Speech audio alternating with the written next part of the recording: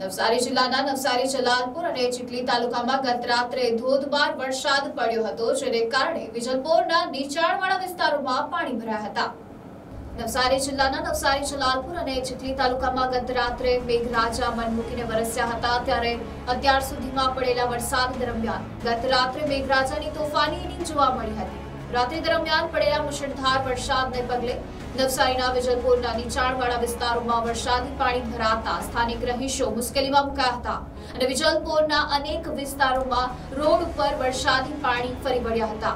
આજે વહેલી સવારે પણ વરસાદે તોફાની બેટિંગ શરૂ કરતા ચીખલી તાલુકામાં બે કલાકમાં ત્રણ ઇંચ વરસાદ નોંધાયો હતો.